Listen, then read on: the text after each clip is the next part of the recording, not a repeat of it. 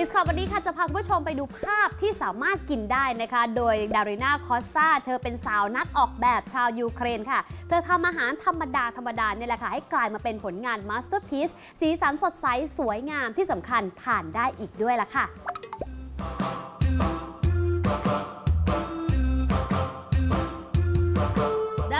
คอสซาซึ่งเป็นนักออกแบบอาหารกำลังสร้างผลงานศิลปะบนจานอาหารด้วยวัตถุดิบต่างๆ ของเธอนะคะ ซึ่งเป็นภาพสีสันสดใสสุดน่ารักออกมามากมายทีเดียวค่ะ มีทั้งการจัดจานขนมออกมาเป็นภาพรถยนต์ที่กำลังแล่นไปบนท้องถนน โดยเฉพาะตัวรถที่ทำมาจากพริกหยวกหวาน รวมถึงส่วนผสมจากคุกกี้แล้วก็ครีมที่ผ่านการจัดวางและสร้างลวดลาย โดยเน้นไปที่สีสันที่ตัดกันอย่างชัดเจน ที่สำคัญสามารถรับประทานได้จริงด้วยนะคะ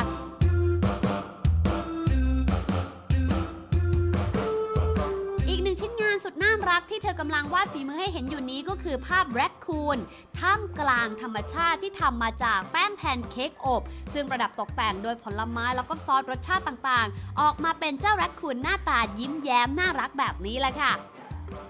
โดยนอกจาก 2 ผลงานที่เธอโชว์ฝีมือให้เราได้เห็นอยู่นี้ เธอยังโชว์ผลงานเก่าๆ ของเธอจากอินสตาแกรมส่วนตัวให้ดูด้วยนะคะ ไม่ว่าจะเป็นภาพคนดัง ภาพตึกสูงในเมือง หรือภาพของสัตว์ต่างๆ ซึ่งแทบไม่น่าเชื่อเลยว่าจะสามารถกินได้จริง เพราะว่าศิลปะบนจานอาหารที่เธอตกแต่งนั้นออกมาสีสันสดใส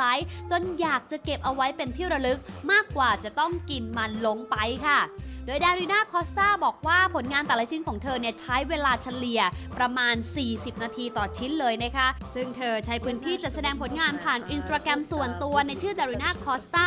และตอนนี้ก็มีผู้ติดตามประมาณ 50,000 คนแล้วล่ะค่ะ และจากผลงานศิลปะบนจานอาหารที่โดดเด่นนี้ทำให้ร้านอาหารชื่อดังในเมืองเคียฟ ถึงกับเชิญให้เธอมาร่วมงาน เพื่อสร้างอาหารจานพิเศษให้กับลูกค้าในวาระสำคัญสำคัญต่างๆ อีกด้วย จริงๆ แล้วเนี่ยดารินาคอซ่าเรียนมาด้านจิตวิทยานะคะ แล้วก็เคยทำงานเป็นผู้ช่วยส่วนตัว ก่อนที่เธอจะตัดสินใจลาออก และเริ่มทำงานเกี่ยวกับศิลปะอาหาร ผ่านทางอินสตาแกรมเมื่อ 5 ปีที่แล้วค่ะ